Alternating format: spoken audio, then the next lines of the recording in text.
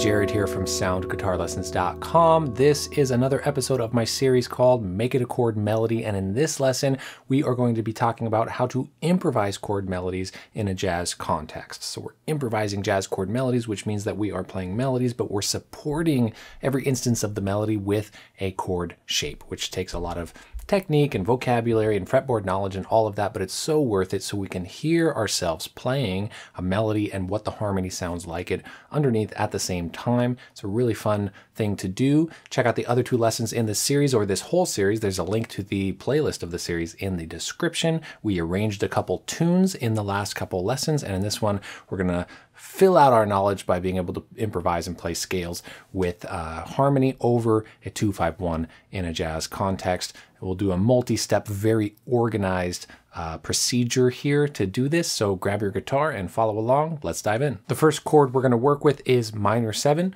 Then we're going to do dominant seven, then major seven. Then we're going to put them together. So we'll work on how to improvise with each of those individually and then together in a progression. Hey, quick note here. When I first mapped this out, it was all going to be one lesson, but it was so huge and so dense that I ended up breaking it up into multiple lessons. So this outline you see right above me here is actually individual videos instead of portions of this one lesson. So this lesson is just covering the minor seven chord, and that's a lot of information. It's really fun, really cool stuff on its own. And then I'll cover the other parts of this outline above me later in this series and those are going to be great lessons as well. Moving on, Jared, take it away. Let's go into minor seven and through this series of steps that we're going to do on each chord. Step number one is that we're going to map out the chord tones of C minor seven on the top string. With all of these, we're going to be improvising with melodies just on the top string, and we're going to be supporting those melodies with chords using the top four strings of the guitar.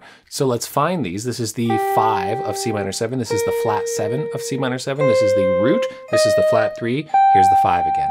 Okay, so I want you to just cycle through those till you feel like you see it clearly. That's step one. We want to see those chord tones. Let's do step two. Step two is to drill the chord inversions of any chord type along the top string here. So we're going to take those chord tones and then figure out what the chord shape is that supports that chord tone as a melody, and they will be inversions of the chord. So I'll give them to you here with shapes on the screen. This is C minor 7, first inversion, where the 5 is the melody. Okay, here's C minor 7, second inversion, where the flat 7 is on the top as the melody. Here's C minor 7, third inversion, where the root is the melody note, and here is C minor 7, where the flat 3 is the melody note, and then it gets back to where the 5, same shape as before, where the 5 is on top. That is the next step, and then you want to just drill them nice and slowly Make sure you can see them. Don't worry about playing these perfectly yet, because the next step we are going to alter them. So let's move on to that step. The next step is to alter the chords to make them easier to play and or better sounding to you. Often that's both is happening. And just there's just one of these four chords that I'm going to alter and I'll show you. This one I like like this, this C minor 7 with the 5 on top. This one kind of has to be this way. Um, this shape can work, but I tend, this one's the hardest to play, but I keep it like that. And root on top, same one. So this one's the one we're changing.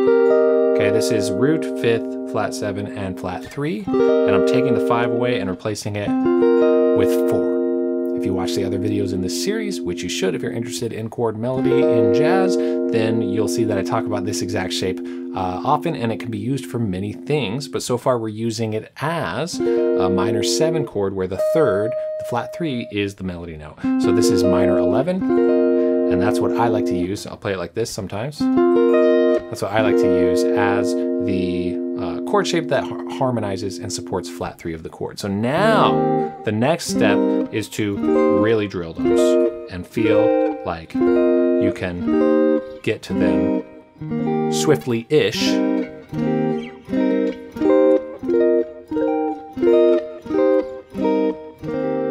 Okay, moving up and down the neck like that. Step number five is to play the rest of the scale while being supported by those same chord shapes. So we're looking for scale degrees, scale notes around the melody notes that we can hold the same chord shape with. And I'll just give these to you here, of course, and then you can practice them. And there's a very, very important rule, according to at least the system that I use for this, which is that you do not want to get rid of a guide tone ever. The guide tones are usually the third of the chord a seven of the chord, or instead of seven, if a, a six can be there instead of seven. Uh, and sometimes the third can be replaced by four, but often three and seven or three and six are the notes that we want to make sure are always in each chord shape to give it the correct color and um, the texture harmonically that we want for every chord. So if it, there's a five and if there's a root, in the shape, you can replace those all you want. So remember we did this shape and just for the sound of it and the ease of playing it, we replace the five with four. Well, we can we can replace the five. We're allowed to do that, but we wouldn't be allowed to replace the flat seven or replace the three because we need those for the quality of the chord. So let's play these scales. This is C minor seven with five on top. We can lift off the five to play four on top. So now we have four of the scale. Ooh, sounds so nice pulling on the neck a little in the Tele way. Love that. Okay, so four, five.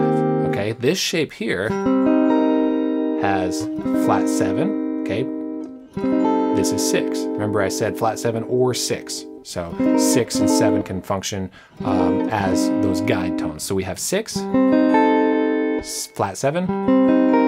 Okay, let's go up to the root. Great, the root can be replaced by two. Here's flat three. Okay, next is four, which we got to. Ah, what do we have? We have the whole scale. This is the Dorian scale. If you don't know about modes at all and you want an introduction, check out my modes video that uh, talks about them and how to study them. So we have four of the mode, of the Dorian mode, five, six, flat seven, root, two, flat three, four, five. Let's go back down. This one is the hardest to switch to, just kind of giving you a heads up on that again.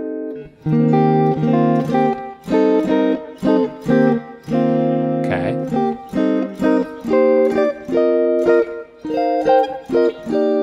Little, we're merging into the next step here that I'll tell you in a sec. Just want to give you a heads up here about something you'll be inclined to do, and feel free to do whatever you want in the end, but I'll tell you why I don't do this. This four here of the scale, like this is one, two, flat, three, four, five, four. Uh, this shape here that we've devised, the minor 11, uh, is so, so tempting and easy to grab the pinky and play that up there. I don't do that because that takes away the flat three of this chord and it doubles that note here and I just don't like the sound of it. I mean, in a vacuum right now, it sounds perfectly fine, right? But as far as the harmonic um, nature and gravity, uh, functional harmony of a progression that I'm working with, I don't like the flat three going away, and I don't like that bold, doubled sound. This sounds like a cool kind of modern sound, but it doesn't work with at least the language that I'm trying to use with harmonizing melodies as chord melodies. So that's why I like this, because it has the guide tones in there and it has four, five, four, flat three, two. Again, do whatever you want. These are not rules that actually matter as rules. These are guidelines um, that I follow to try to, as much as possible, make this be a system and a language. Naturally, the next step is to just drill those so you really have them down. So up and down, drill them. Step after that would be to improvise with them a little bit.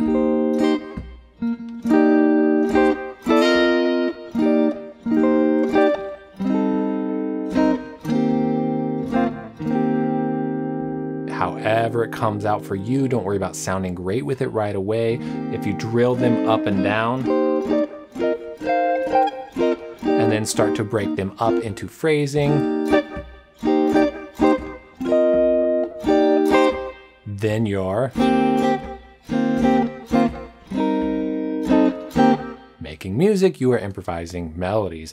Uh, phrasing is very important. If you're not familiar with phrasing, check out my phrasing video Uh, it's very helpful if you want to work on that for composing or improvising melodies of any kind. We're going to piece these different chord types together to play over a progression, but even just with one chord type, you can start to use it in real music. A famous example of a tune that stays on a minor type harmony, a Dorian harmony for a long time, is So What by Miles Davis.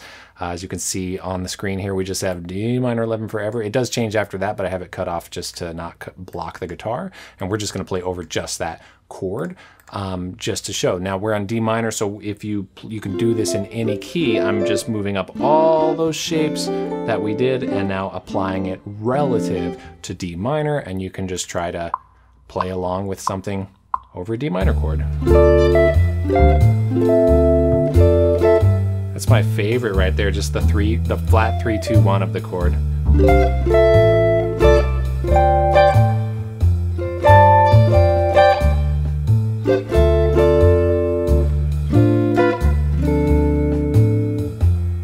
Get the idea. Takes a while to get used to, but already practical. And even in a tune where there's more going on, if you have a couple measures of a minor chord, you can use a little bit of this uh, vocabulary and then go back to whatever else you were playing, even if you don't have other chord melody arrangements worked out for scales to improvise with. So I know it's a huge undertaking, but just little by little, piece by piece, you know, enjoy the process. And the big win here is that every shape that you're using to harmonize a certain chord tone type, chord tone, chord quality, um, and, and melody, that context is the same thing anywhere, any key forever, right? So every time that minor third is harmonized on a minor chord, it's gonna, on the top string in particular, it's that shape. If a five is harmonized on any minor seven chord where you're playing the top string as the melody note and it's five, it's that shape always, right? And the and the four, that shape, always, right? So you so we get closer, one step closer every time we kind of internalize one of those. It was like, ah, every single time, any melody, any tune,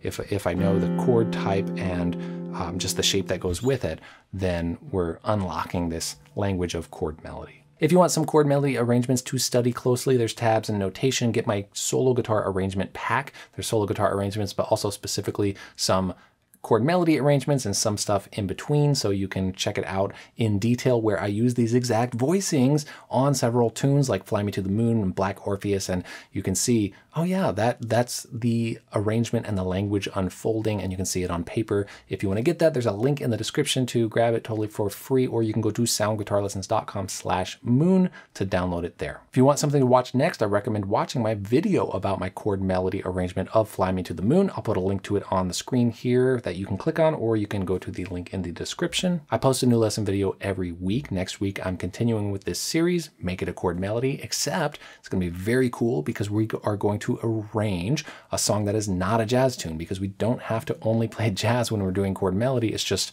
a very common place that it is used, but we can use this same technique with a slight twist on harmonies that are not seventh chords and on songs that are just popular songs or folk songs or anything. So we're going to do that next week and it's going to be really valuable and really cool. So I hope to see you there. Thanks for watching. Take care and happy practicing.